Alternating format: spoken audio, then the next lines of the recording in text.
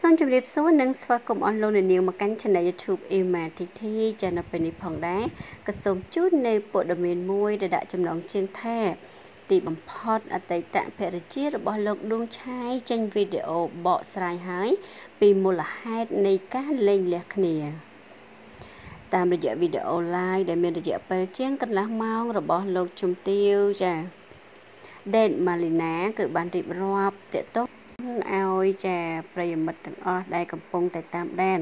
សាច់រឿងចានៃការលេងលះគ្នានេះចាសូមបញ្ឈប់រាល់ការនិយាយអ្វីដែលមិនល្អប៉ះពាល់ទៅដល់ផ្លូវចិត្តរបស់លោកជំទាវក៏ដូចជានិយាយមិនល្អពីគ្រួសាររបស់អ្នកទាំងពីរ ដោយដែលប្រិមិត្តបានជ្រាបរួចមកហើយពីបញ្ហាក្រុមគ្រួសាររបស់លោកញ៉ាដួងឆាយនិងភរិយាបានលែងលះនឹងគ្នាកាលពីមួយរយៈពេលមុននេះដែលធ្វើឲ្យមហាជនជាច្រើនមានការភ្ញាក់ផ្អើលជាខ្លាំងខណៈដែលពួកគាត់គឺមានភាពស្និទ្ធស្នាលនិងតែងតែបង្ហាញនៅរូបភាពដ៏មានសុភមង្គលនៃគ្រាកន្លងមក។ ក្នុងនោះផងដែរលោកជំទាវដេតម៉ាលីណាគឺបាន live វីដេអូប្រាប់ពីមូលហេតុនៃការលែងលះពីដើមចំទំនាក់ទំនងរបស់លោកញ៉ាឌួងឆាយនិងលោកជំទាវ ជាស្ដែងលោកជំទាវបានប្រាប់ពីរឿងរ៉ាវជាច្រើនដែលបានចាគេចោតមកលើលោកជំទាវដោយថាលោកជំទាវមានអ្នកទី3មានទ្រព្យសម្បត្តិច្រើនទើបសំលេងប៉ុន្តែការពិតគឺលោកជំទាវមិនអាចទ្រាំនៅរឿងរ៉ាវគ្រប់យ៉ាងនៅក្នុងជីវិតគ្រួសារមួយនេះដោយពាក្យចាស់ថាចង្គៀងផ្ទះអ្នកណាភ្លឺផ្ទះអ្នកនឹង 30អីចាអញ្ចឹងគឺយើងត្រូវគិតខ្លួនឯងថាតើយើងធ្វើជាប្រពន្ធគេម្ដាយគេប្តីគេឲ្យគេហ្នឹងអឺប៉ាគេហ្នឹងគឺតើយើង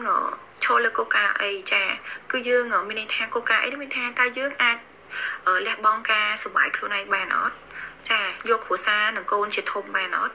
ចាហើយលុយកាក់ជារបស់ក្រៅកាយគឺចង់និយាយថាលុយកាក់អត់សំខាន់ដូចពេលវេលានិង ដូចពេលវេលាជាមួយនឹងជាមួយនឹងក្តីសុខគ្រួសារនិងស្នាមញញឹមគ្រួសារអត់ចា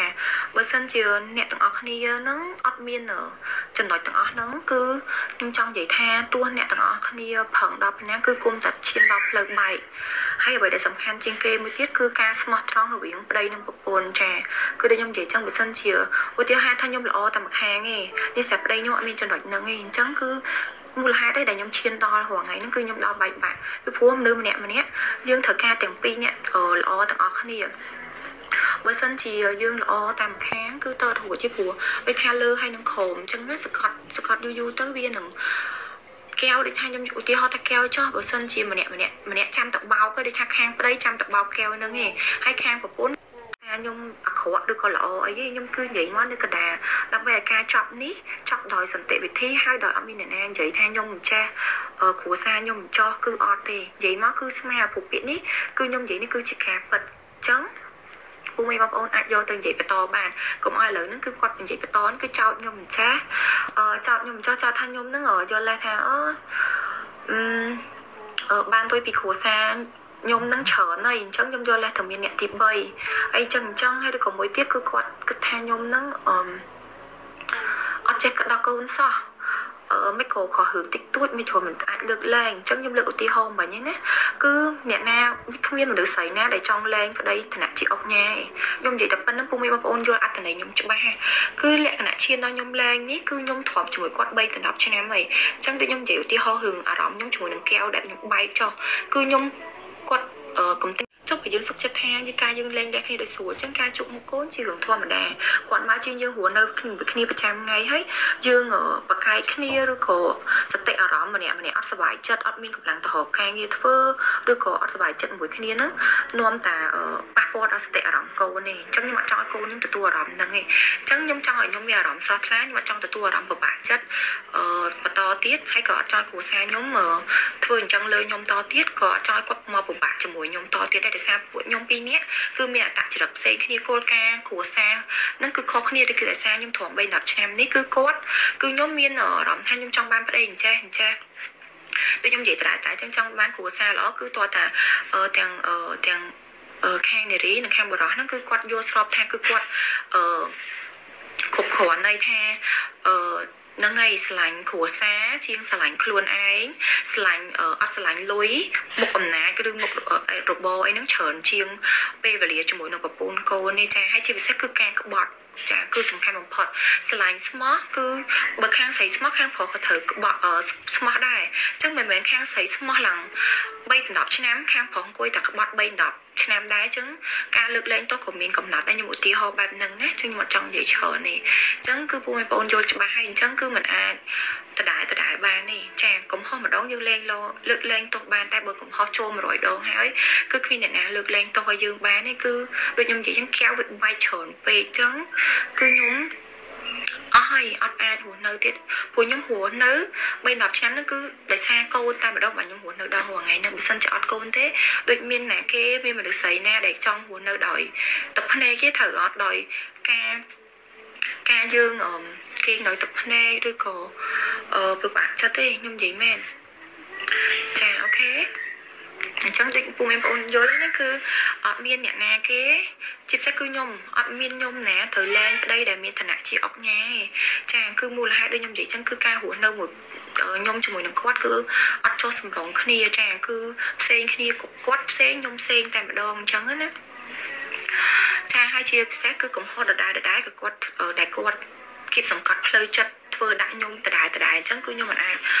លើកលែងទោសឲ្យគាត់ពីម្ដងទៅម្ដងបាននេះពីព្រោះបើអូខេលើកលែងទោសឲ្យគឺគួរតែមនុស្សហ្នឹងគឺឈប់ប្រព្រឹត្តអំពើបែបហ្នឹងតទៀតខ្ញុំអត់ចង់និយាយថាគាត់ធ្វើអីធ្វើអីទេខ្ញុំគ្រាន់តែឧទាហរណ៍ថាមនុស្សដែលធ្វើខុសហើយគឺមិនអាចអឺ ធ្វើម្ដងទៀតលើខ្ញុំអញ្ចឹងណាហើយគិតមើលរយៈពេល3ទៅ10ឆ្នាំដែលខ្ញុំលើកលែងទោសឲ្យគាត់ចំពោះបងប្អូនគួរតែយល់ហើយថាតើផ្លូវចិត្តខ្ញុំខ្ញុំធំប៉ុណ្ណាដើម្បីកូនដើម្បីខ្លួនខ្ញុំទាល់ពូពូមិនដើម្បីកូននេះខ្លួនខ្ញុំទាល់លើបងប្អូនត្រូវឲ្យពេលដែលអ្នកគេធ្លាក់ទៅជា មេម៉ាយគឺអ្នកខ្លះមានគេមើងងាយព្រោះគាត់ពេលខ្លះគាត់ជាស្រីមេម៉ាយដែរអត់ចេះគាត់អត់រឹងមាំខ្លួនឯងហើយគាត់អត់ត្រៀមផ្លូវចិត្តថាអូឥឡូវគាត់បាត់បង់ប្តីហើយអញ្ចឹងគឺគាត់អាចហៅជំងឺបាក់ផ្លូវចិត្តជួនកាលគាត់មាន អ្នកខ្លះគឺប្តីគាត់មានស្រីទៅចោលគាត់អីអញ្ចឹងណាជុំគាត់មិនម៉ាយហើយប្តីមានស្រីហើយចិត្តគាត់នៅស្រឡាញ់ប្តីគាត់អញ្ចឹងគឺគឺគាត់ពិបាកចិត្តខ្លាំងហើយខ្ញុំទទួលស្គាល់អារម្មណ៍ហ្នឹងប៉ុន្តែខ្ញុំឥឡូវហ្នឹងគឺខ្ញុំពិបាកចិត្តគឺមិនមែនគិតថាខ្លាចប្តីខ្ញុំទៅមានអ្នកថ្មីឬក៏អីទេគឺខ្ញុំពិបាកចិត្តដូចខ្ញុំផុស Facebook អញ្ចឹងគឺខ្ញុំស្ដាយពេលវេលា3 10ឆ្នាំដែលខ្ញុំចំណាយលើមនុស្សខុសខុសនឹងលក្ខណៈមិនគឺដោយសារខ្ញុំគិតថាគាត់អត់ធ្វើអញ្ចឹងដាក់ខ្ញុំទេអត់មានថ្ងៃហ្នឹងសម្រាប់ខ្ញុំទេព្រោះខ្ញុំអឺ អឺគិតមើលទៅលះបង់ច្រើនណាស់បងប្អូនអរគ្នាសម្រាប់ខ្ញុំផ្ទាល់ចា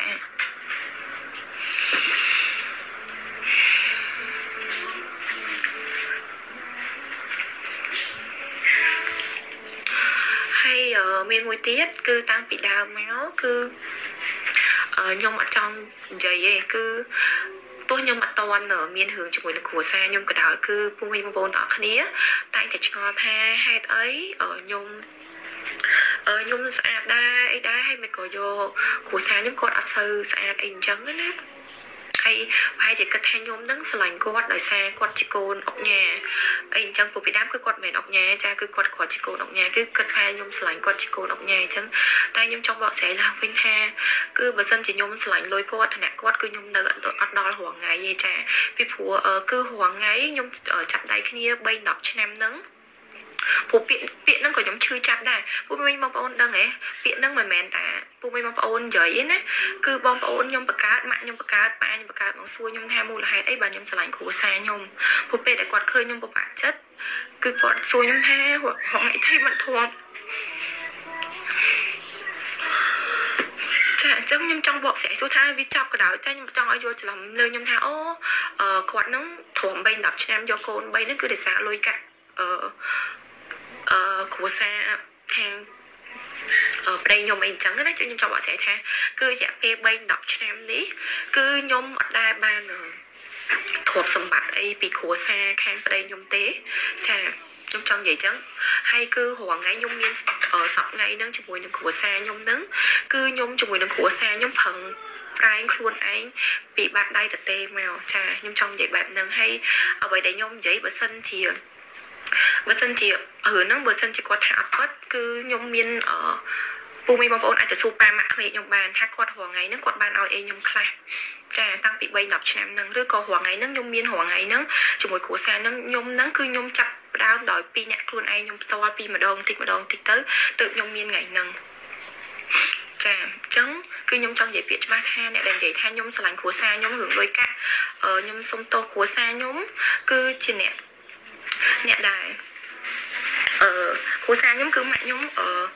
គ្រូបរិញ្ញាចាគឺគ្រូសាខ្ញុំអ្នកធម្មតាតែក៏មិនមែនលក្ខណៈថាអឺគ្រូឬក៏អីដែរគឺ